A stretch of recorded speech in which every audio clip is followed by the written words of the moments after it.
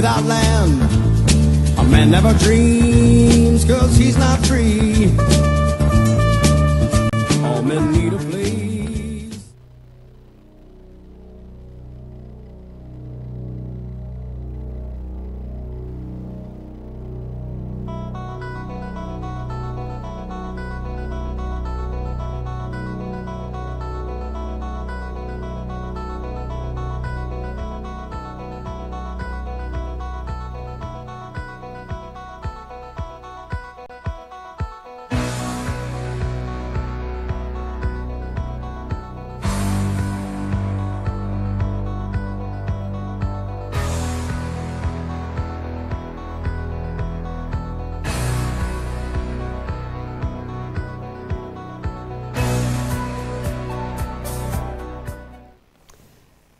Buenos días, hoy vamos a dar continuidad al programa de educación continua del Colegio Nacional en esta aula virtual en los estudios del Colegio Nacional.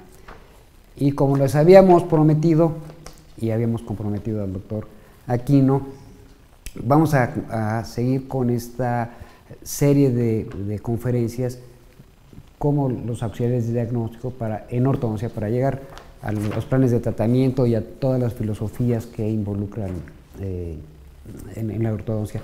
De hecho, el día de ayer tuvimos la, conferencia también de eh, César Pérez eh, Córdoba, que habló precisamente del diagnóstico de, Pérez, que es un diagnóstico un poquito más este, elaborado, de lo que habíamos pensado. Bueno, pues el maestro eh, Aquino es especialista en radiología, es egresado de la Universidad de México, la Facultad de Ontología, donde también hizo sus estudios de posgrado. Eh, es profesor de tiempo completo en la propia facultad y coordinador del Departamento de Radiología en licenciatura. Es miembro, desde luego, del Colegio Nacional, claro. es, es, presidente de la Asociación Mexicana de Radiología Maxilofacial, es miembro de la Asociación Internacional de Radiología Oral y Maxilofacial, es miembro de la Asociación Latinoamericana de Radiografía Dental e Imagenología y además de ser un extraordinario amigo y compañero de trabajo, es conferencista nacional e internacional. Eh, te dejamos con el tema de hoy. Eh, eh, yo estoy seguro que todos los que nos van a acompañar esta mañana van a quedar muy satisfechos porque es un tema que en particular a mí me fascina. Gracias maestro, muy amable, gracias por la invitación y pues esperemos que cumplamos los objetivos de esto que es la interpretación radiográfica. Le agradezco mucho la invitación y buenos días a todos los Entonces, empezamos. que nos escuchan. Sí, vamos a empezar ahora con la plática para poder ver lo que son las anatomías radiográficas con sistemas digitales, es lo que, lo que tenemos ahorita. Y bueno, es el principal título que dijimos, porque hablar de anatomía en realidad es un poco complejo, sobre todo la anatomía radiológica. Y bueno, hacemos un poquito de mención que ya se acerca el Día Internacional de la Radiología, ellos se acercan pues en, en, en noviembre, pero pues nos vamos preparando desde estas, estas fechas para poder festejarlo de diferentes formas, en diferentes universidades se hacen eh, conferencias, cursos, etcétera, para poder hacerlo. Internacional, nacionalmente, pues también estamos trabajando sobre algunos proyectos para poder eh, llevar a cabo este, este Día Internacional, dando conferencias, dando pláticas, como les decía, haciendo algunos cursos.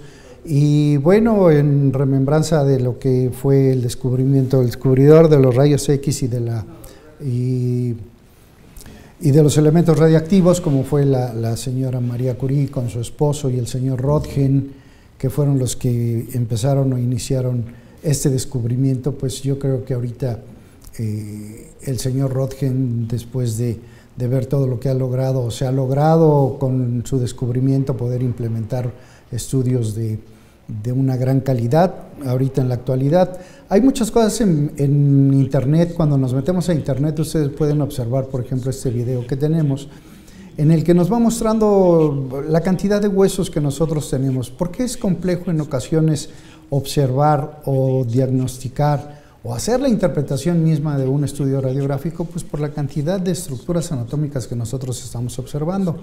Los huesos de la cara, que como ya vimos, se articulan eh, por medio de, algunas suturas, todo el cráneo, los huesos de la cara, hay cantidad o diferencia de eh, agujeros que vamos a nosotros eh, observar, que radiográficamente los podemos observar también, pero eso hay cierta complejidad. Los huesos del cráneo, pues aquí podemos ver cuáles son el frontal, los huesos nasales, los huesos de la cara ya, el maxilar, la mandíbula, el bómer, etcétera.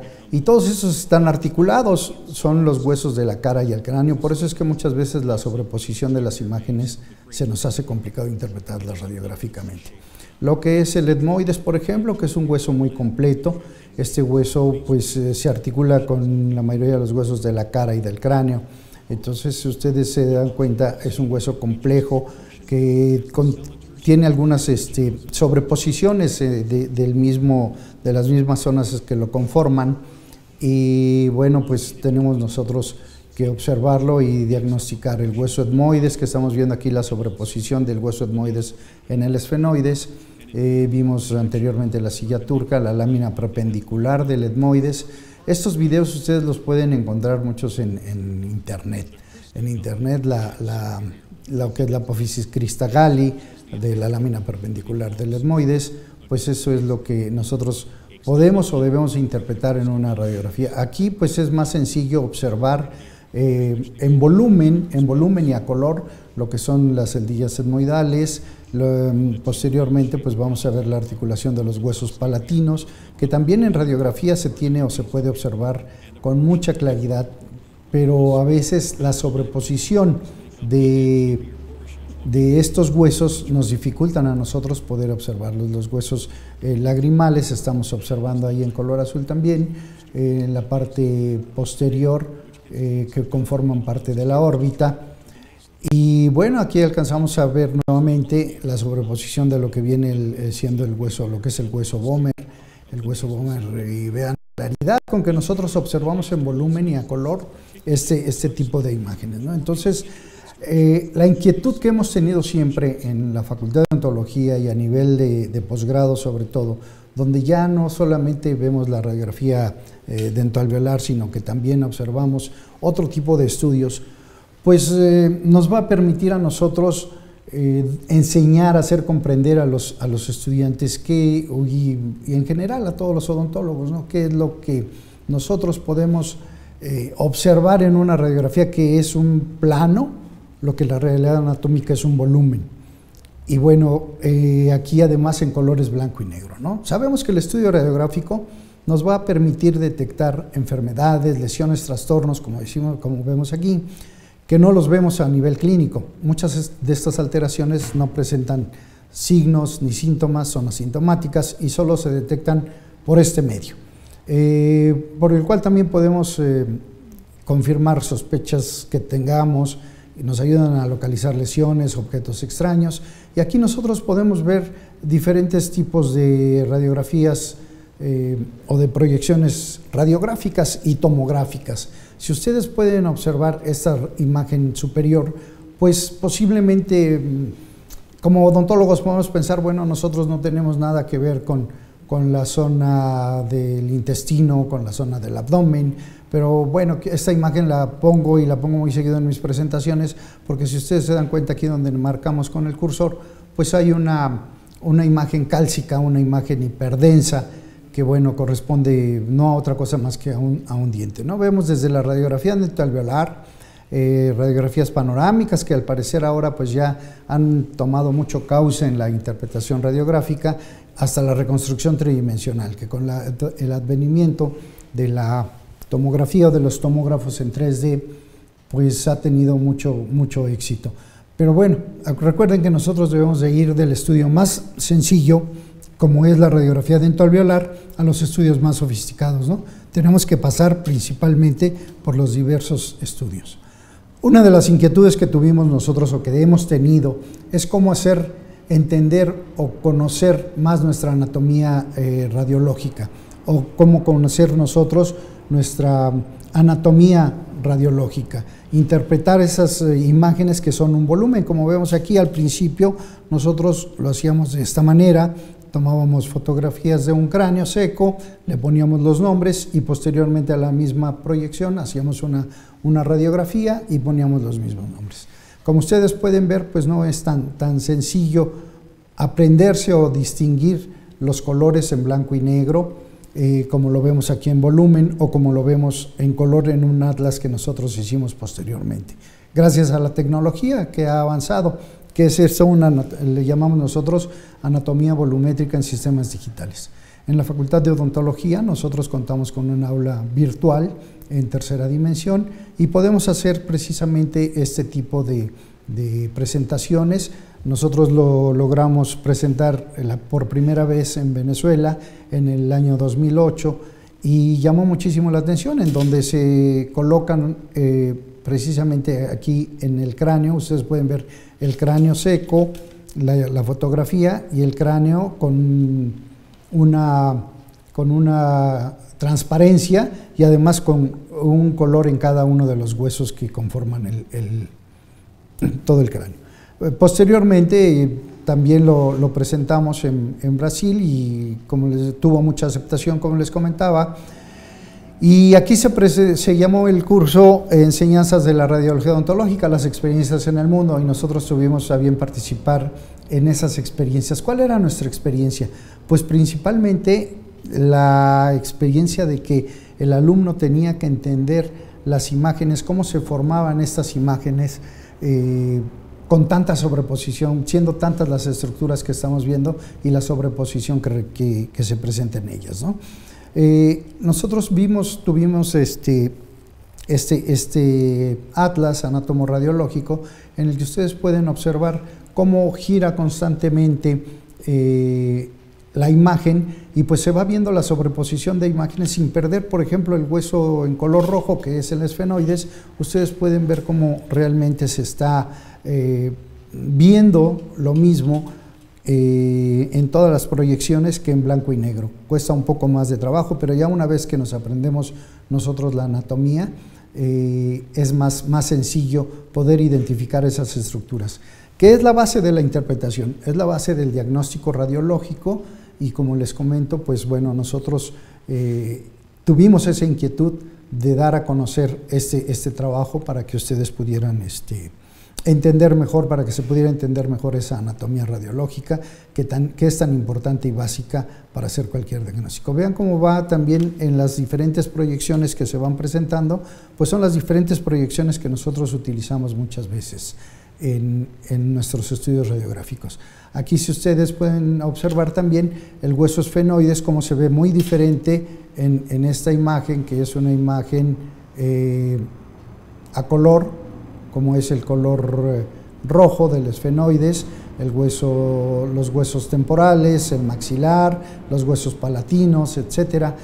Es más sencillo observarlos en la imagen en, en, colores que en blanco y negro, pero como les decía, una vez que ya nos familiarizamos con esta imagen, es más sencillo que pasemos nosotros a la otra. ¿no? El advenimiento de la tecnología y la aplicación de la tecnología no podía faltar aplicado a la, imagenología.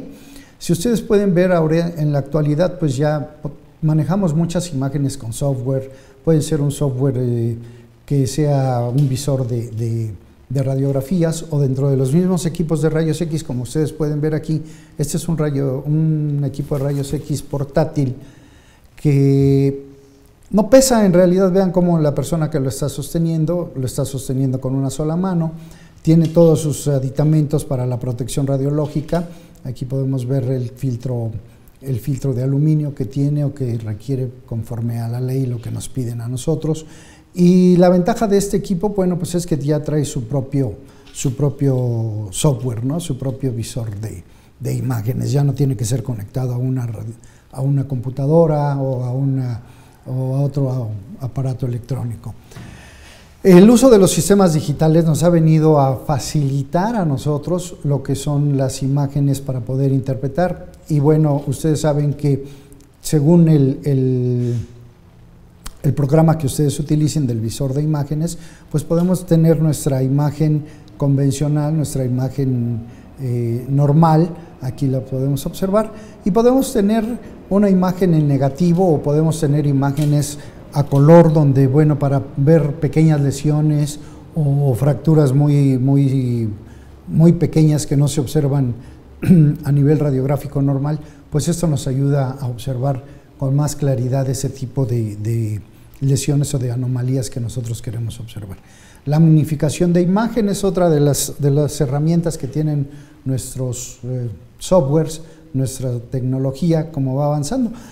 Pero para entrar de, lleno más a, este, a este tema de la interpretación, muchas veces cuando enseñamos la radiología, nosotros decimos, bueno, ¿cuál es la imagen o con qué podemos correlacionar la imagen que nosotros estamos observando?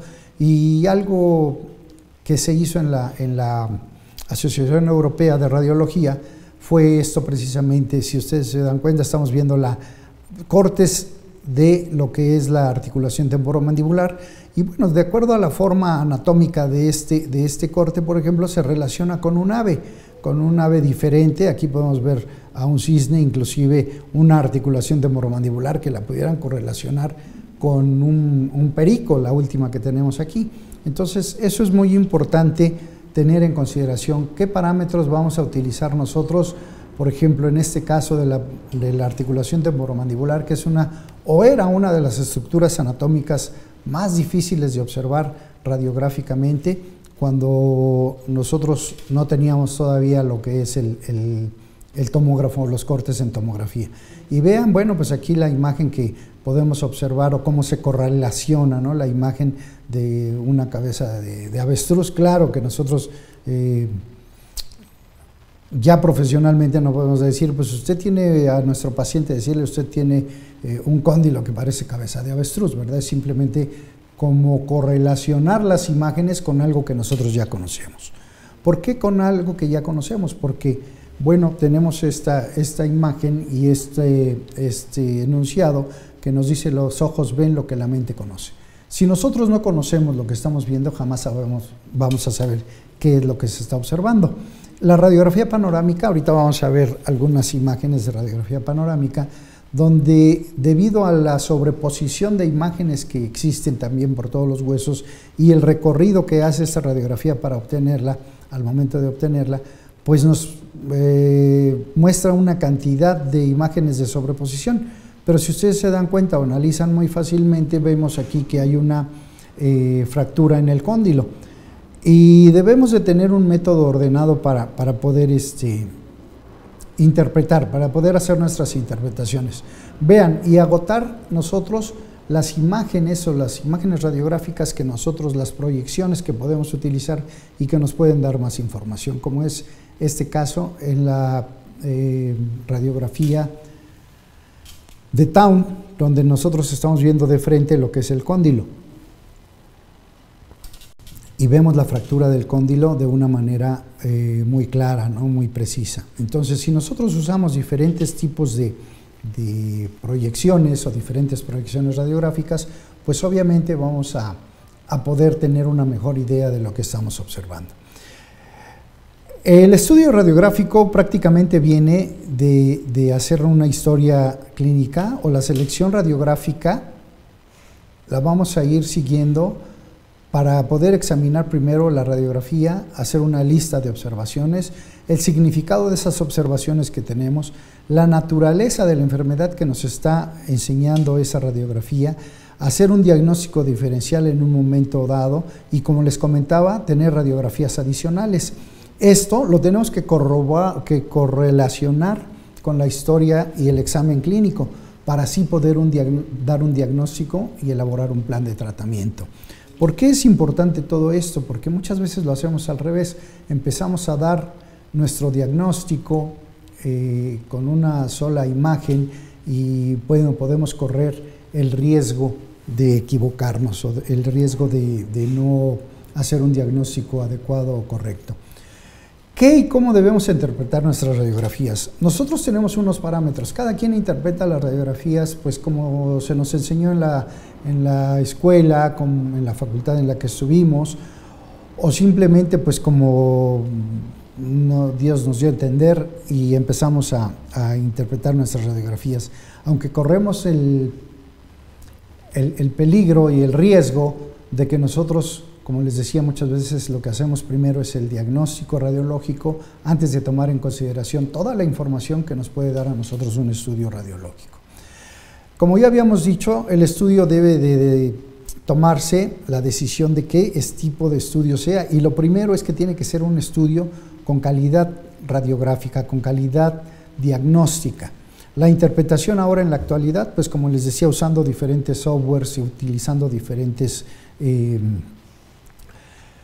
visores de radiografías de rayos X con muchas herramientas que trae cada visor, pues podemos hacer un poco más fácil lo que es la interpretación radiográfica, pero nosotros necesitamos conocer realmente las estructuras, las estructuras anatómicas que estamos solicitando o que estamos viendo manejamos nosotros unos parámetros, sobre todo para las radiografías extraorales, que aquí podemos ver un listado de lo que manejamos. No solo manejamos tomografía, sería muy bueno que nada más pudiéramos manejar tomografía ahora en, en la actualidad, pero nos olvidamos de los estudios convencionales y no podemos hacer eso. Primero por la accesibilidad de estos estudios, que no son muy no son muchos los lugares donde existen y posteriormente pues porque no a todo el paciente le vamos a mandar una, tomografía de inicio. ¿no? Necesitamos ir de los estudios más sencillos, como les había comentado, a los más sofisticados.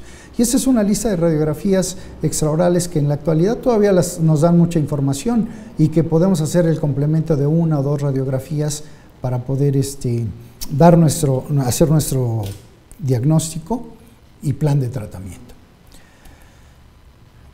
Nosotros utilizamos siete parámetros o criterios para interpretar un estudio radiográfico. Identificar la, película radiográfica, la región con precisión, la calidad radiográfica, los tejidos blandos, la densidad ósea, la anatomía radiológica y por último, tomando en consideración estos seis puntos, vamos a hablar de lo que es el diagnóstico radiológico. La identificación, bueno, pues sabemos que por un eh, acuerdo internacional siempre debe haber una marca en las radiografías, ya sea del lado derecho, del lado izquierdo, etcétera, donde nos piden a nosotros que se pongan los datos generales de los pacientes, como es el nombre, la edad, el sexo, la fecha. Hay lugares en que, bueno, anteriormente, eh, que no había tanta tecnología, se ponía nada más un número que correspondía al número de, expediente de algún paciente, sobre todo en algunas instituciones de, de salud. ¿no? La identificación, como les decía, bueno, siempre debe de ser marcada con, en la radiografía con los nombres ya sea del lugar donde se tomó, los datos generales del paciente, como ya hemos dicho, el lado izquierdo, el lado derecho. Otro de los puntos es la de región con precisión, en el que nosotros tenemos que observar o hacer ver que la zona anatómica que nosotros queremos observar sea la zona anatómica vamos a, lograr nuestra radiografía. En la actualidad, la radiografía panorámica es uno de los estudios radiográficos más utilizados, que más comúnmente se ha venido a, indicar, porque nos da una gran cantidad, una cantidad de información muy amplia. La región con precisión, como les decía, debe corresponder la región anatómica y la proyección radiográfica. Desde la radiografía alveolar que estamos observando aquí, que es una radiografía de, lateral y canino, en donde nosotros podemos observar una lesión, la radiografía oclusal, la radiografía dentoalveolar del otro lado, donde vemos una dilaceración radicular en la raíz del segundo molar superior. Todo esto es lo que nosotros podemos eh, observar en nuestros estudios radiográficos, esos son los parámetros que podemos aplicar. La región con precisión volvemos a verlo aquí en una radiografía de Town donde hay una gran asimetría, pero bueno, lo, observamos realmente que eh, el paciente tiene más largo un lado que el otro, o clínicamente desde aquí ya nosotros cuando vemos al paciente vemos que está más abultado un lado que el otro y cuando ya lo observamos radiográficamente pues hacemos el análisis eh, clínico, hacemos la inspección y de ahí ya nos podemos eh, orientar más hacia lo que es el, problema que tiene nuestro paciente. Los cortes axiales, que como les decía de la tomografía también nos puede dar una extensión en las lesiones y, una imagen que estamos observando aquí en esta parte de la articulación temporomandibular, en la parte inferior eh, derecha, podemos observar que hay un cóndilo, es la radiografía o la proyección de Schuller, que en la realidad ya prácticamente está en desuso, puesto que los nuevos estudios de imagen nos dan una, una eh, visión mucho más completa de este tipo de, estructuras anatómicas. Esta es la imagen que yo les había mostrado a un principio, en la que nosotros como odontólogos tenemos que estar, tenemos que estar nosotros eh, preparados para poder observar no solamente dientes de eh, lo que es cabeza y cuello, sino que podemos observar cualquier otra estructura anatómica del organismo humano no necesariamente porque vayamos a tratar nosotros esto, sino porque puede tener mucha correlación con, la, con la, odontología. Ustedes pueden ver aquí esta imagen cálcica, como les dije, es una imagen eh, radiopaca en una tomografía de, en una radiografía, perdón, es una mm, proyección eh, anterior de abdomen y bueno, que corresponde a un molar, un molar que se tragó el paciente. ¿Cómo llegó ahí? Bueno, pues ya la, la historia en, a lo mejor en otro en otro momento la contamos, pero vean, aquí está un acercamiento de esta imagen en otra proyección. Y si nosotros no conocemos la, anatomía normal, podríamos pensar que esto es el seno maxilar y que esto es un molar superior, ¿no?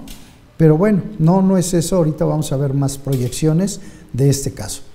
Los colores, la calidad radiográfica es importantísimo, como dijimos a un principio, debe haber calidad radiográfica en cuanto a la nitidez que tenga valor eh, diagnóstico una radiografía. Esto es muy sencillo, que decir, pues los colores radiográficos, tanto radiolúcido como radiopaco, deben de observarse con nitidez y con mucha claridad. Eh, anteriormente, y eh, anterior, digo anteriormente porque en la actualidad ya hay lugares o hay odontólogos que casi no usan el revelador, pero sin embargo hay unos que todavía lo siguen utilizando, el revelador manual. Entonces, ahí es donde nosotros muchas veces echamos a perder la calidad de nuestras radiografías, echamos a perder eh, todo el trabajo técnico que hicimos en el momento de que nosotros eh, revelamos nuestras radiografías, ya sea manualmente o con un, eh, con un revelador automático, etc. Ahora con los nuevos sistemas digitales, pues ya tenemos que eliminar o eliminamos prácticamente lo que es el, el revelado de esta forma.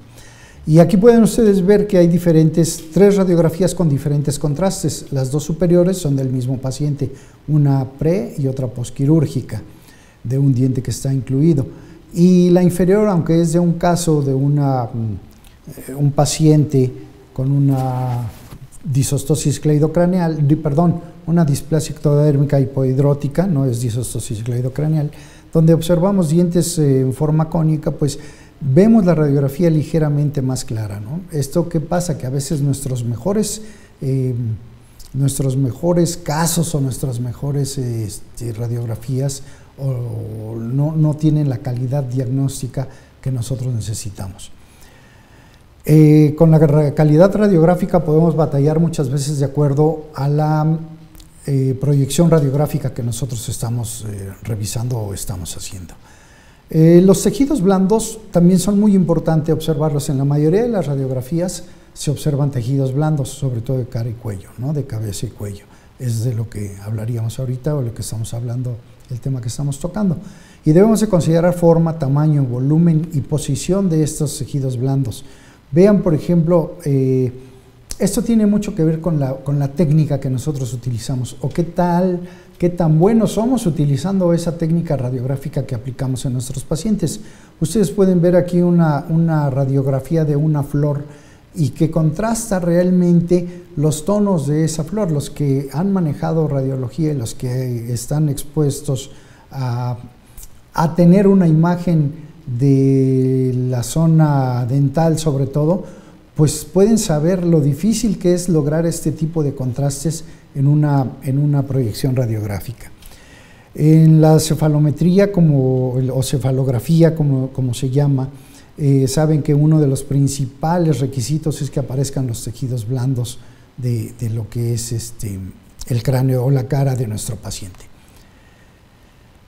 Más tejidos blandos, como les decía, aquí logramos ver una radiografía, una tele de tórax en la que nosotros, bueno, si nos fijamos bien, hay ausencia de clavículas, que obviamente estos pacientes llegan a tener una gran necesidad de recurrir al odontólogo, ya sea por la cantidad de dientes supernumerarios, que es lo más común. ¿no? Tenemos eh, sabido que este tipo de pacientes pues realmente tienen algunas eh, anomalías, por ejemplo, como es la cantidad, les decía yo, de pacientes en los que hemos visto a veces que son 20 o 30 dientes supernumerarios que existen en, esa zona. Aquí hay un corte nuevamente tomográfico, como les había mencionado en el caso anterior, donde estamos viendo la imagen hipodensa de esta, de esta zona y que corresponde al molar que el paciente se, se, tragó cuando le estaban haciendo la, la extracción y vean aquí el complemento de este tipo de, estudios. Como les decía, son estudios de abdomen en donde nosotros tenemos aquí una urografía excretora. Al paciente pues le tuvieron que hacer muchos estudios antes de, saber realmente qué era esto. Eh, un estudio de un colon por, por enema, perdón, eh, de un colon por enema y eh, estas, estas, imágenes empiezan a, a, verse necesariamente como nosotros podemos, este, como las tenemos aquí en, en, estos, en estas imágenes, las podemos observar. Como les decía, corroboramos realmente lo que es. Si recuerdan, yo les enseñé o les mostré un corte de esta, de esta zona, ¿sí? En donde se veía vertical y bueno, como les comentaba, muchas veces si no conocemos la anatomía, pues vamos a tener problemas. La densidad ósea es observar la integridad del hueso. Esto es muy importante en radiología. Nosotros podemos observar esa integridad del hueso y partimos básicamente nada más de dos cosas. El hueso es compacto, si es compacto es radiopaco y es periférico. Y si es esponjoso es central y es radiolúcido. ¿sí? Entonces, eso es muy importante que nosotros lo veamos, que veamos la densidad ósea en nuestras radiografías. Muy importante para poder determinar qué es lo que le están haciendo las infecciones al hueso, cómo puede estar eh, relacionada esa imagen, por ejemplo, con el espacio de ligamento periodontal, aquí de las diferentes cosas que vemos, si hay más o menos densidad ósea en una radiografía como esta que estamos observando, ¿sí? en donde podemos confundir esa imagen radiolúcida con una lesión eh, quística o en este caso si es un quiste eh, óseo traumático y que muchas veces lo podemos confundir con las fosas submaxilares. En la anatomía radiológica, aquí nos vamos a, ampliar un poquito más en esto porque eso es lo importante que nosotros debemos conocer. Ustedes pueden observar en la radiografía panorámica, aparte de los 32 dientes, 32 estructuras anatómicas adicionales que pueden ustedes ver. Y bueno, empezamos rápidamente con lo que sería la silla turca, el número uno, aquí se está manejando, el segundo es el condilo mandibular, el tercero el meato auditivo externo, el cuarto el proceso mastoideo, el quinto el ligamento estiloioideo, el sexto la pared pterigoidea, el séptimo la fosa maxilar, el octavo la eminencia articular, el noveno la espina nasal anterior, el décimo son los senos maxilares, senos etmoidales, perdón, el 11 eh, conducto lagrimal, el 12, el número 12 va a ser nuestro conducto lagrimal también, el cuerpo del cigomático, el número 13, el agujero incisivo, el 14, el número 15 es la espina de Spix, de Spix o língula, que se llama ahora también, el 16 el agujero mentoniano, el 17 la sínfisis mentoniana, el 18 el hueso ioides, el 19 techo del paladar y el 20 la espina angular de los fenoides. Como se dan cuenta, aquí llevamos 20 estructuras anatómicas relacionadas sin mencionar ningún solo diente.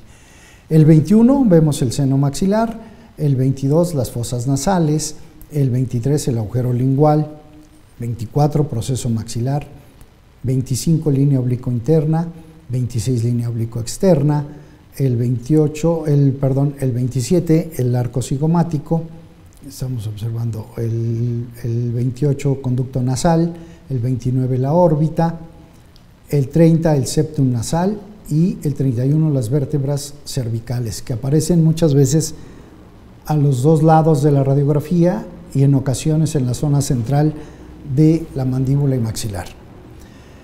Aquí como pueden ver ustedes ver todas son todas las estructuras anatómicas que llegamos a observar y bueno pues aquí marcamos solamente 31. ¿Qué pasa cuando nosotros utilizamos tomografía? En una radiografía panorámica podemos ver una imagen eh, radiopaca rodeada, un halo radiopaco rodeando eh, en, su interior o teniendo en su interior una imagen radiolúcida.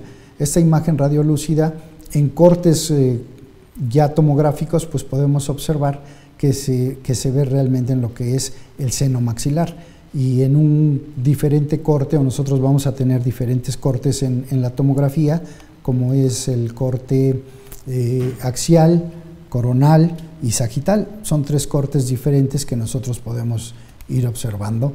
De acuerdo a los cortes que vayamos haciendo, va a ser la estructura anatómica que vamos a ver. Los huesos de la cara, pues sabemos que los huesos pares son los nasales, los maxilares, los malares, el unguis, el palatino y los cornetes inferiores.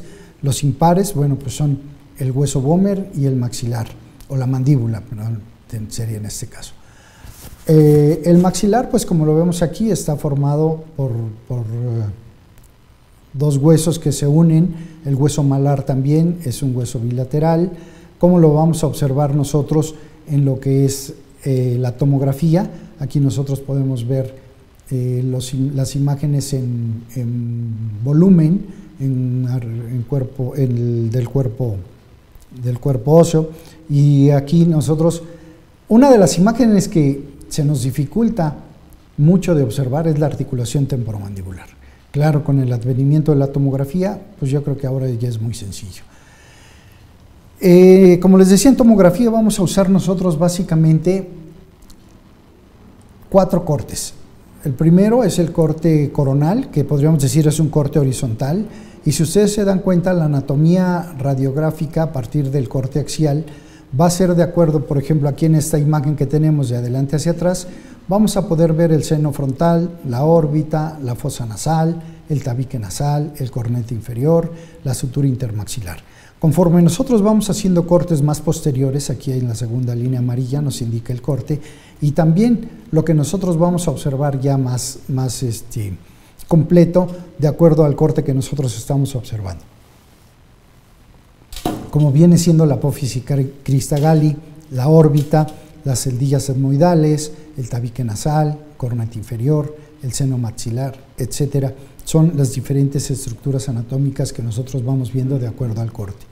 Un tercer corte más profundo a nivel de, del macizo facial, pues ya podemos observar lo que es la base craneal anterior, la órbita, las celdillas etmoidales, los cornetes medios, el cornete eh, inferior y el arco cigomático. Nos vamos todavía a un corte más posterior en el corte axial y en la cara eh, lo que viene siendo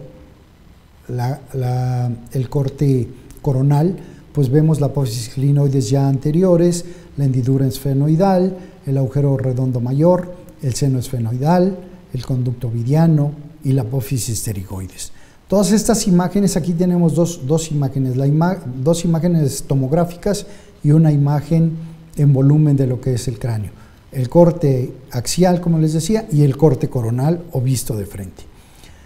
Si nos vamos todavía a una parte más posterior aproximadamente lo que viene siendo el cóndilo, pues nosotros vamos a observar también en el corte eh, coronal la base craneal media, la cavidad glenoidea, el cóndilo mandibular, la región subcondilar y la rama mandibular. Y vean, como les comentaba, con qué claridad podemos observar nosotros este tipo de imágenes. Eh, la anatomía en una vista axial, pues también podemos observarla, acuérdense, en una vista axial, es la horizontal y aquí estamos viendo una vista sagital en donde de arriba hacia abajo vamos a ir observando eh, los cortes y lo principal que nos eh, muestra aquí es el seno frontal, el techo de la órbita, la apófisis cristagali, la base del cráneo media, el hueso parietal y la base craneal posterior. Esto es en el corte axial. Hacemos nuestros trazos en el corte sagital y la segunda raya amarilla nos muestra a nosotros estas imágenes, lo que es tabique nasal, celdillas etmoidales, órbita, seno esfenoidal, la base craneal media y la porción petrosa. Un corte más, inferior en la imagen eh, sagital nos indica en la imagen axial el tabique nasal, el conducto la, la, lacrimonasal, perdón, el seno maxilar, el arco cigomático, un agujero oval, el agujero redondo, el conducto auditivo externo, etc.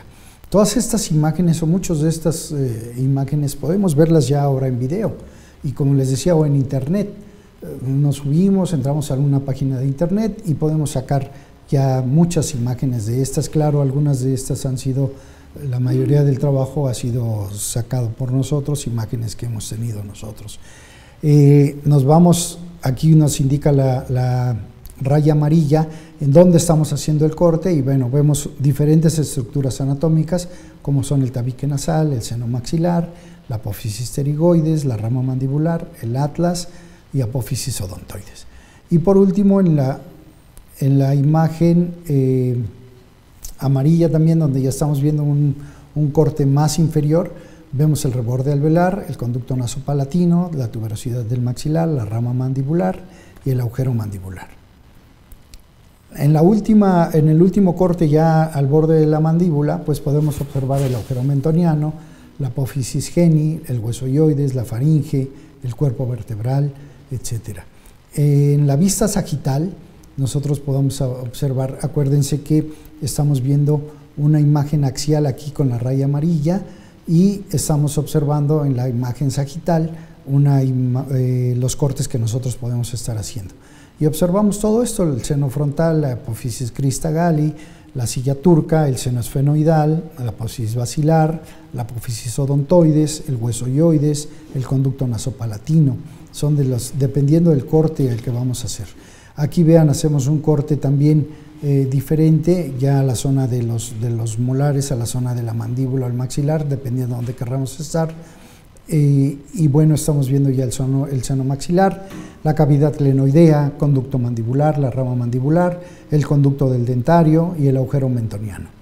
Hay muchas variantes anatómicas, por ejemplo, como esta imagen que estamos observando y que pertenece simplemente a lo que es una cavidad de Stavne. Son variantes anatómicas que son variantes normales o estructuras anatómicas, se podría decir normales, porque es donde se llegan a, alojar glándulas, eh, submandibulares eh, anexas. ¿sí?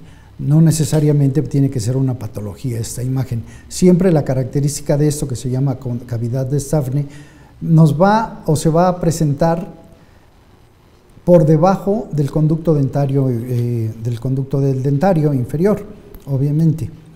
Y ustedes pueden ver aquí ya en cortes tomográficos cómo la observamos diferente, cómo observamos diferente la cavidad de Staffne, pero bueno, son diferentes cortes que estamos haciendo con tomografía, con tomografía axial. Eh, la gran variedad que puede existir de trabeculados dentro del seno maxilar también es una variante normal o en el seno frontal, en donde nosotros no debemos de confundir o pensar que hay alguna patología, simplemente son variantes anatómicas muy, muy marcadas, muy precisas y que bueno, conociendo lo normal, pues ya podemos nosotros conocer lo anormal. Eh, dentro de los órganos dentales también nosotros tenemos muchas veces eh, variantes anatómicas en las que podemos ver, por ejemplo, un, un diente con dos, con dos conductos, claro que aquí ya están obturados, y no necesariamente los conductos que a veces se hacen por algún accidente o por algún error en el tratamiento. La apófisis amular de lo que es el, maxilar, eh, en la parte posterior de la tuberosidad del maxilar, la apófisis amular que corresponde al hueso esfenoides. Y por último, ya para, para terminar con esto, es el diagnóstico radiográfico, que es a lo que nosotros queríamos llegar. Si nosotros tenemos conocimiento de todas estas estructuras anatómicas, tenemos conocimiento de todo lo que, lo que estábamos observando, pues va a ser muy fácil para nosotros emitir un diagnóstico, ¿no? ya que nosotros debemos considerar los datos clínicos obtenidos y las imágenes radiográficas, corroborar esto. Y el diagnóstico radiográfico se puede dar y puede ser descriptivo o presuntivo.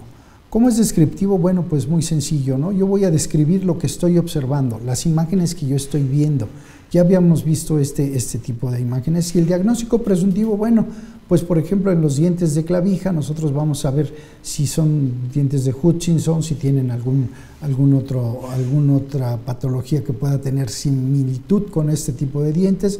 En este caso hablamos de la displasia ectodérmica hipohidrótica, vean imágenes eh, radiolúcidas y radiopacas, nosotros necesitamos saber con más información, con otro tipo de proyecciones radiográficas muy sencillas, podemos saber si una lesión como las de este tipo que vemos en la radiografía oclusal puede ser un diagnóstico o podemos hacer un diagnóstico diferencial con otro tipo de imágenes. Les repetía, el diagnóstico radiográfico se hace dependiendo de lo que estamos observando nosotros y de la correlación clínica que tenemos con, nuestros pacientes. Aquí, por ejemplo, pues esta radiografía panorámica inferior eh, nos está mostrando a nosotros una multilobulación de imágenes radiolúcidas y radiopacas. ¿Esto qué quiere decir? Que es un problema multiquístico, multiquístico en, las, en la imagen que nosotros estamos viendo aquí, que corresponde pues obviamente a un querubismo, pero aquí la clínica ya nos dice en el momento que nosotros estamos observando a un niño que viene con, bueno, se les llama eh, querubismo porque dicen que los niños o los pacientes que las padecen normalmente son niños y bueno, tienen cara de querubín, ¿no? Son medio cachetoncitos, entonces bueno, aquí está la imagen del que es bilateral la presencia de múltiples quistes en esta zona. Entonces, vamos nosotros corroborando y correlacionando lo que son las imágenes. Aquí podemos ver otra cavidad de Stafne que nos está marcando la, la flecha roja.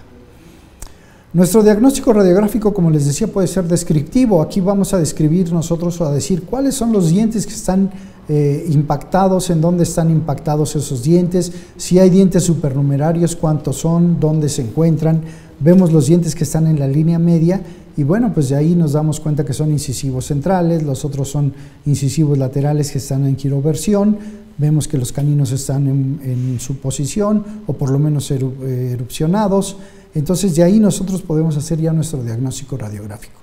Pero podríamos decir que nosotros, eh, o sería un poco sencillo, cuando solamente hacemos el diagnóstico en cuestiones dentales. El problema cuando ya nosotros tenemos alguna patología, pues entonces es más difícil porque podemos confundir imágenes radiolúcidas que vienen siendo normales con alguna patología. Inclusive, bueno, pues en alguna ocasión nosotros eh, hasta llegamos a hacer eh, procedimientos quirúrgicos pensando que una lesión o que una imagen normal puede ser una lesión. ¿Qué tipo de lesión es la que estamos observando? En el diagnóstico radiológico es muy importante. Si, una lesión, si es una lesión de tipo maligno, como en esta radiografía panorámica inferior, donde las características de esta lesión son muy eh, fáciles de distinguir, yo digo fáciles porque tienen una destrucción muy rápida y vean eh, su la característica es que tiene forma o la destrucción deja un hueso como si fuera una, imagen geográfica, un mapa, vean irregularidades, hay una inflamación muy grande aquí en tejido blando, hay una fractura en esta zona de la escotadura, vean cómo hay una fractura de tipo patológico, y bueno, las fracturas normales como lo que podíamos aplicar aquí uno de los, de los parámetros era la densidad ósea, nosotros automáticamente cuando vemos que se rompe o hay una disminución de esa densidad ósea, pues obviamente estamos viendo que hay una imagen radiolúcida. Acuérdense que las imágenes radiolúcidas se forman porque los rayos X penetran con más fuerza hacia lo que es la película radiográfica y hay mayor afectación hacia la imagen. Eh, vean la fractura que hay en este molar también. Aquí la continuidad del, del tejido óseo, del tejido duro, pues también se observa muy claramente de una manera radiolúcida. Lo mismo que en el otro lado mandibular, pues alcanzamos a ver una fractura muy amplia. En esta imagen de lo que es la, tomografía, la reconstrucción tridimensional por tomografía, ustedes pueden ver que, bueno, esta tomografía se tomó eh, en, en marzo del 2001 que realmente la, tomografía no tiene una, eh, una, una, adquisición reciente. Antes se tomaba tomografía, pero no había tomógrafos eh, odontológicos, eran tomógrafos médicos, que obviamente la resolución es sumamente grande. Entonces, eh, desde entonces ya se aplicaba o se aplica la, tomografía, aunque por sus costos creo que es creo que es una de las principales contraindicaciones, o era una de las principales contraindicaciones, porque con el advenimiento de los tomógrafos maxilofaciales, pues creo que, ya es más accesible la, aplicación de la tomografía en ciertos casos específicos o que así lo requieren. En la Facultad de Ontología, en la División de Estudios de Posgrado, pues ustedes pueden eh, solicitar este tipo de estudios a unos costos muy bajos y realmente se le da atención a todos los pacientes que puedan eh, llegar de, de, cualquier lugar, tanto los dentro de la división de estudios de posgrado como los, eh, los pacientes de, externos de, otros lugares particulares inclusive. Y bueno, eh, les comentaba el tipo de la lesión, aquí estamos observando en una mandíbula, en una mandíbula de cráneo seco, lo que viene siendo una cavidad de Staffne, es más gráfica, y vean en la radiografía otra cavidad de Staffne. Quise ponerle estas imágenes porque son estructuras anatómicas normales que muchas veces las pueden confundir con lesiones patológicas, como les decía. Y aquí nosotros podemos observar en la línea media del paladar, pues lo que es el conducto, una anomalía de lo que es el conducto palatino anterior. Vean, está muy marcado, pocas veces observamos un, agujero palatino de esta naturaleza, muy bien circunscrito, que viéndolo de primera intención podríamos pensar que es una patología lo que se está observando ahí. Y realmente es una estructura anatómica normal. Aquí nuevamente observamos nosotros eh, una cavidad de Stavne, en la misma mandíbula que, que les mencioné en cráneo seco, y el diagnóstico radiológico, que es muy importante darlo de acuerdo a las estructuras anatómicas que nosotros estamos viendo. Por ejemplo, en este caso estamos viendo un odontoma eh, complejo, en esta otra zona también vemos un, pequeño odontoma. Y bueno, así como esto, podemos observar muchas otras imágenes eh, radiográficas extraorales que vamos a estar dándoles eh, su aplicación, por ejemplo, para poder observar aquí el nivel, de los, el nivel aéreo de los senos maxilares, como ya les había comentado, radiografías transcraneales de la articulación que se hacen con boca abierta, boca cerrada, y las radiografías más utilizadas en ortodoncia, en odontopediatría, en muchas de las, de las especialidades odontológicas, pues son la lateral y la anterior prácticamente y la tomografía, la radiografía de Schuller, como les comentaba, aquí tenemos una radiografía boca cerrada, boca abierta. Esto es muy importante que lo hiciéramos siempre en, en dos proyecciones y, y, bilateral para poder hacer este, la, la comparación. Las radiografías frontales, en fin, las radiografías laterales, las opcionales también, las que nosotros podemos utilizar. ¿Cuál es la idea de todo esto? Que nosotros no nos quedemos siempre con una sola radiografía, como se dice aquí. Eh, las estrategias del diagnóstico las vamos a centrar nosotros en la presentación radiográfica inicial, pero observarlas en dos planos va a ser el mejor método para evaluar cualquier lesión ósea. Esto es muy importante que lo veamos. Si nosotros tenemos o sospechamos de una lesión, siempre la debemos de, eh, de comparar o de complementar, perdón, con otro tipo de radiografías que tenemos a la mano. Eh, bueno, aquí estamos viendo unas patologías por cuestiones eh, eh, de tiempo, espero que, que, podamos en algún momento hablar de lo que son patologías a nivel radiológico. podemos, podemos irnos este,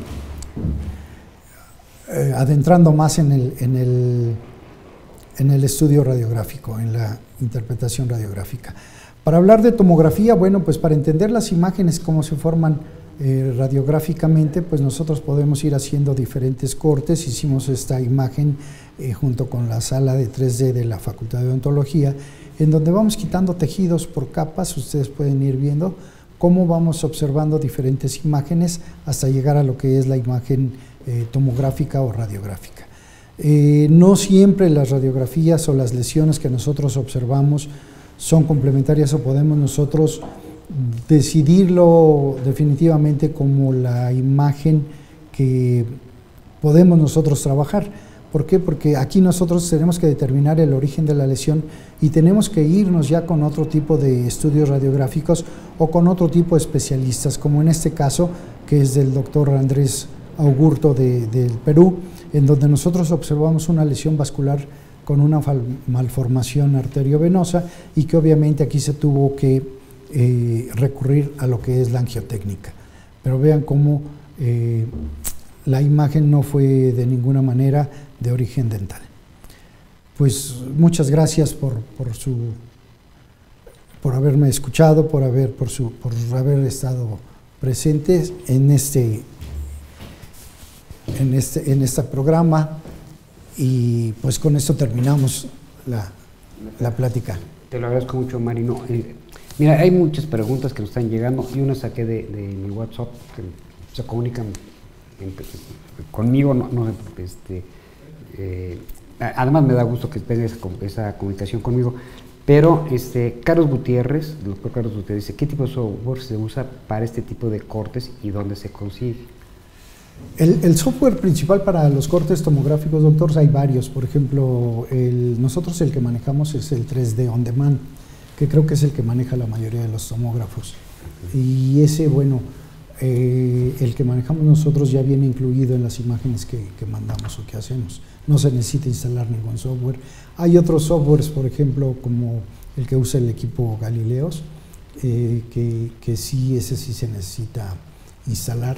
Pero el software muchas veces eh, está el ICIDEN, está softwares que manejan sobre todo los radiovisiógrafos. Pueden ser de varias marcas. Entonces, de acuerdo a la marca del radiovisiógrafo, del equipo que están usando, se utiliza el software, o si no, inclusive... Lo, que le podemos pedir al doctor Carlos Gutiérrez es que nos mande otro WhatsApp y que nos diga cuál sería, qué tipo de aparato tiene la marca para poderle recomendar algún Sí, sí, es correcto, es correcto porque en los softwares sí muchas veces son diferentes de acuerdo al tipo de, de equipo que nosotros tengamos, pueden variar. Bueno, este, te mando saludar a la doctora Araceli. Muchas gracias. Este, no sé si es, de Cuernavaca o se apellida Cuernavaca, pero Araceli de Cuernavaca, me imagino. Ah, muchas gracias, doctor. Este, gracias. Después te preguntan, ¿el impacto de radiación ionizante es menor en este tipo de, radiología? Mm, bueno, en una tomografía en especial sí si considerando el número de cortes que nosotros tenemos, este, que adquirimos del paciente. Pero en cuanto a radiación, obviamente es mayor eh, que una panorámica, aunque el tiempo de adquisición de la imagen casi siempre es el mismo. Nosotros hicimos un estudio junto con el Instituto de Física en donde el equivalente de una tomografía era igual a tomar nueve panorámicas, nueve radiografías panorámicas. Pero bueno, es el riesgo-beneficio, ¿no? Lo que nosotros estamos viendo aquí, porque en la panorámica pues vemos una sola imagen y en la tomografía podemos adquirir hasta de 300 a 500 imágenes de nuestro paciente. Sí, sí, sí. es lo que nosotros oh. manejamos. Que, me parece que es mucho el beneficio, porque si dijéramos mucho el beneficio. Al, paciente lo está sometiendo todos los días a una radiografía, pues... Este, sí, claro. No, no, pero cuando se hace una sola toma que tienes esos beneficios, pues, prácticamente la, radiación no se convierte en un problema. No, se, convierte en un problema. En, ese sentido. Y las ventajas son muchas realmente. Después dice, a ver si puedo interpretar lo que nos piden. Se observan alteraciones pulpares en radiografías interproximal, doctor Silva. Eh, radiografía, no, no radiografía. a ver, voy, a leerlo, no sé que la esté leyendo mal y estoy haciendo algunas cosas. Se observan alteraciones pulpares en las radiografías interproximal pues eh, no, en la radiografía interproximal solamente que la lesión sea por una destrucción muy amplia de, un proceso carioso, ¿no? de algún problema de esa naturaleza, porque para que nosotros observemos radiográficamente una desmineralización de cualquier tipo que sea química o por patología, tiene que ser un 45, de un 40 a un 45% de destrucción. Ahora, está hablando de, alteración pulpar. Alteración pulpar. Sí, en radiografías interproximal. O sea, este, no, no, no sé a qué se refiere el doctor Silva, si nos hace favor de explicarnos más la pregunta, de ampliarnos, pero me da la, la interpretación si se puede observar una alteración pulpar, puede ser una hiperemia, alguna cosa de este tipo de cosas. Es muy difícil, no, no, no creo, porque no se observa como en sí lo que es la pulpa, ¿no? Sí, se No, ve el espacio. Sí, se ve el espacio. Igual pasa en las radiografías de articulación que platicábamos aquella ocasión en el radio. Sí, sí, sí, sí, igual. Podemos obtener cortes crosseccionales en tomografía, pero en, en concreto en una radiografía interproximal no, no, no, no creo que se pueda observar. Sí. No se observa. Si la pregunta, si hicimos este, alguna, tuvimos algún error en la, tra- en la, eh, transmisión de la pregunta, cualquier cosa, por favor, doctor Silva, vuelvos a mandar el WhatsApp y con gusto el maestro Claro, con va a contestar. gusto, con Este, mucho Te mandan a felicitar desde California. Nada, Ah, mucho gusto, bueno, estás volviendo muy internacional, maestro muy- Después, este, las que me llegaron a mí, eh, ¿cuántas y cuáles son los parámetros de interpretación radiográfica? Ah, pues como habíamos comentado, son siete nada más los que tenemos, identificación, región con precisión, calidad radiográfica, este, densidad ósea, anatomía, anatomía radiológica y diagnóstico, perdón, dije siete, son seis, Sí. y, diagnóstico radiológico. Eh, Sí, porque eh, ¿cuál sería la diferenciación, o la diferencia entre uno y otro de, la- de lo- de los seis elementos? Porque hablas de calidad eh, radiográfica y calidad de diagnóstico. ¿Cuál- Sí. ¿Cómo, La- cómo, ah, ah, cómo- Es que con una, eh, lo, lo ideal de la calidad eh, radiográfica precisamente es que nosotros en una radiografía de mala calidad no podemos hacer un diagnóstico. Decíamos que nuestras radiografías deben de tener calidad diagnóstica. O sea, ¿son buenas o son Ah, malas? Ok, entonces para explicar, es más como un requisito. Es un requisito, es, Ah, ok, es para- un, es un punto también, obligatorio. También la para- pregunta quedó medio, medio Sí. este, no, no, no estaba, me parece que me faltó precisión en, la- en- la- en la- al copiar el WhatsApp, ¿no? O, o- o lo que me, me mandan a pedir este, en la pregunta, este, tengo, tengo el número, no tengo la- el, el- el- el- el contacto, ¿no? Porque no, no es contacto permanente Sí, mío. Este, si a mí me parece también lo que eh, has mencionado, para poder, poder hacer un correcto diagnóstico, una calidad en el diagnóstico, es lo que estás hablando, si lo estoy entendiendo bien, es Sí. que hay una calidad radiográfica. Sí, sí, sí, es imprescindible, es Sí, básico. Sí, sí. ¿Qué? Este, y- Que, que ahora en la, en la actualidad pues ya, ya es más sencillo, como había, le había comentado, ¿no? Sí. Aunque tiene sus desventajas también, porque, por ejemplo, una imagen digital es muy difícil que sirva como un documento de tipo legal, que realmente ese sí ya es otro tema en el que se puede hablar de que la radiografía es un documento de tipo legal, en el que nos va a nosotros a Y la analógica. lo que hicimos. La analógica, pues es así, no había forma de, de cambiarla o de hacer algún, algún este, modificación. Ahora con los softwares que les decía, pues sí se pueden eh, aumentar, hacer sobreposiciones, hacer imágenes diferentes. Sí, sí. Este, yo, yo me acuerdo que en, en una, de, sino en una de las eh, participaciones que tuvimos en, en- en los congresos y, y escuchamos de, de la, la pura- la propia radiografía analógica, puede dar la información extraordinaria. Lo Sí. que pasa es que hay que saber interpretar, hay que, yo les decía a mis alumnos, hay que saber leer la radiografía. Sí, Y yo y en, son de broma le decía, una radiografía bien tomada, una analógica bien tomada, una lateral de cráneo, que es la que utilizamos en ortodoncia, ¿no? Este, yo les decía, si, si tiene calidad la radiografía, hasta el color de los ojos se pueden ver, ¿no? Que en forma de, de- Sí.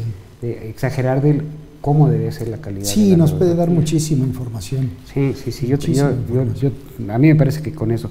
Este, después, cuando hablas de ya de, de- de aparatos tan sofisticados, estos de las tomografías, que puede ser cortes, ¿cuáles, ¿cuántos serían los cortes adecuados para poder hacer un diagnóstico? Porque hablas de muchísimos cortes que se pueden hacer. Sí, se pueden hacer muchos. Eh, ¿Cuál sería lo práctico? Yo digo, a mí me rebota un poco la pregunta, pero puedes hacer 10 cortos. Este, ¿Son necesarios los 10 cortos para hacer un diagnóstico?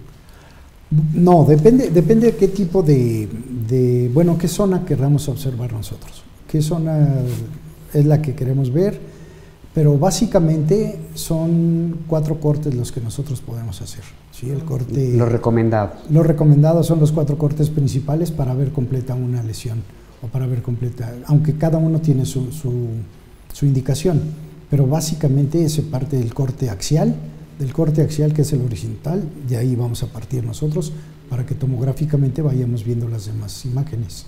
Entonces el corte axial, el coronal, el sagital y uno que es muy importante en, odontología es el cross-seccional o, o corte que le llaman en forma de pan de caja. Muchas veces lo dicen porque Como transversal. eh, como transversal, exactamente, es un diente transver es una imagen transversal que se aplica sobre todo en, en los dientes, en los molares, donde hay alguna fractura de tipo vertical, que eso no lo podemos ver en la radiografía. Eso es lo que nosotros llamamos lo que no se puede ver en una radiografía. ¿no?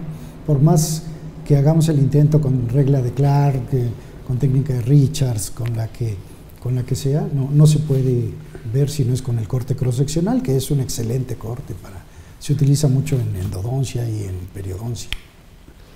Este, a ver, me parece que es la, la última pregunta. ¿Qué significa región con compresión? Región Preci- con, precisión. Sí. Región con precisión, pues es lo que manejamos inclusive, como decía usted, ¿no? con los propios alumnos, que muchas veces queremos ahorrarnos radiografía. Tomamos una radiografía, en el caso de, de dentales, una radiografía de lateral y canino, y, bueno, pues aprovechamos para echarle una visita al premolar, porque también salió ahí el premolar, o al revés, tomamos una radiografía de premolares y vemos que sale el canino y por ahí le echamos un- una revisadita, siendo que, bueno, sabemos que cada una de las zonas tiene su, su angulación, tiene su dirección, Sí, su posición. A veces, a veces parece hasta medio tonto, ¿no? Pues que querer ahorrarse otra radiografía, que- querer ver con una lo que debemos de ver con dos. Exactamente. Una radiografía. Sí, sí, son ahorros malentendidos. ¿no? Sí, sí, me parece. sí, Mira, sí. mucho es igual que lo de es, el asunto de las amalgamas, ¿no? Claro. Que eh, sube el precio de la plata y va a subir el costo del tratamiento de una, de una, de una, eh, De una de amalgama, una, de sí. una restauración con amalgama. Este, me parece que Sí, resulta sí. absurdo, cosas por el estilo, ahorros son mal, mal entendidos. Sí, son malentendidos. Y eso es lo que lleva al fracaso a la odontología. Eh, Sí, realmente es cuando nosotros no podemos hacer un diagnóstico veraz, un diagnóstico certero, Sí, porque sí. debemos de tener, bueno, siempre lo he dicho, imágenes verdaderas, imágenes diagnósticas que nos ayuden a hacer ese plan de tratamiento, pero ya con bases a lo que nosotros correlacionamos con la clínica. Claro.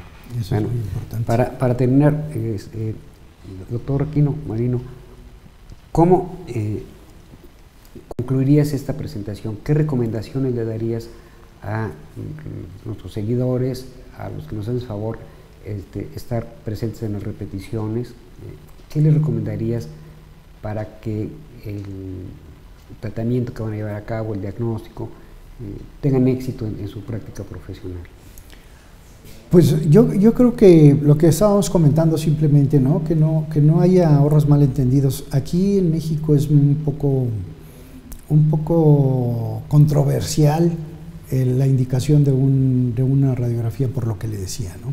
A veces, eh, y no sé por qué, pero muchas veces se, se- como que se está regateando el precio de la radiografía. Yo creo que no es conveniente eh, adquirir radiografías eh, donde es más económico, sino que siempre estén seguros de que las radiografías que van a, a tener o que van a tomar son eso, ¿no? Radiografías con imágenes verdaderas. Eso es lo que yo pienso que podríamos concluir, que tomen la radiografía indicada para, las, para el caso que están tratando. Sí, sí, que, y no se trata de tomar o sea, para cumplir un, un- un requisito, No, no, sino, no, sino claro. para que cumpla con esa función que tiene. que correlacionen primero la clínica, con la, con, si es necesario con otros estudios, y, y por último ya con una o dos radiografías las que sean necesarias. Claro. Eso es muy importante que, Claro. que se haga. Este, ¿Algo más que quieras agregar? Pues nada, darle las gracias maestro por haberme invitado. No, como siempre. Y- Además, este, siendo una parte importante de la estructura del colegio, te agradezco que te hayas No, tomado pues el muchas tiempo. gracias. Sé de antemano, y los que estamos aquí, los, los productores de, de la aula virtual, sabemos que el horario a veces se complica un poco porque todos estamos en el consultorio, en tu caso estás en la coordinación de- del Departamento de Radiología y en la Facultad de Odontología. Entonces, este, te agradecemos el tiempo que les has dedicado, el empeño y el cariño que le tienes a la, a la enseñanza, que eso es lo que nos hace este, seguir adelante en la Sí, universidad. Este, Es el amor que le tenemos a nuestra profesión, pero también el, el empeño y la dedicación que tenemos por bueno, transmitir los co- pocos o muchos conocimientos que tengamos. Pues Este, muchas y gracias, en tu caso son gusto. muchos, en en este caso Con soy yo. mucho- con mucho Este, gusto, te agradezco y te entrego eh, esta constancia, eh, este reconocimiento sobre la- el aula virtual, eh, acorda- recordando a nuestros eh, seguidores que acumulan puntos para la, acreditación y la certificación y recertificación profesional. Te agradecemos, Marino, en nombre de- del doctor No, Jacobo pues, Pérez, el presidente del Colegio Nacional, este, tu apoyo y tu presencia, y no va a ser la última. Muchas veces vamos a tener que contar contigo y con tu apoyo. Con mucho gusto, maestro. Este, eh, Les agradecemos su presencia. eh, los invitamos a que nos acompañen en la próxima sesión, la semana que entra. Hay muchas actividades. Los invitamos también a que, eh, si tienen la oportunidad de acompañarnos en el congreso que tenemos en Tuxpan, Veracruz, el próximo fin de semana, viernes y sábado, va a estar muy interesante. eh, es una plaza eh, que hemos tratado de, de- de promover la educación continua. Entonces vamos a un evento allá, lleva el nombre del doctor Vázquez. Nos gustaría mucho veros por allá y les agradecemos el favor su presencia y le vamos a pedir al maestro Aquino que nos haga el favor de firmar el, el muro de visitantes y ¿Cómo de no? Conferencistas. gusto. Acá de este lado.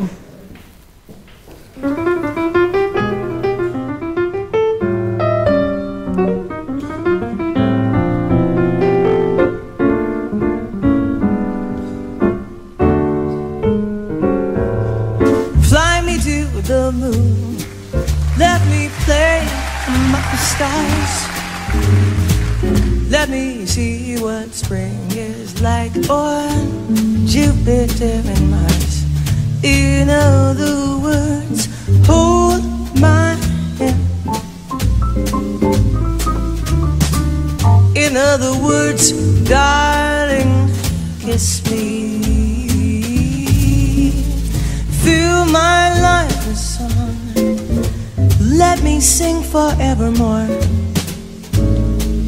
You are all I long for, all I worship and adore. In other words,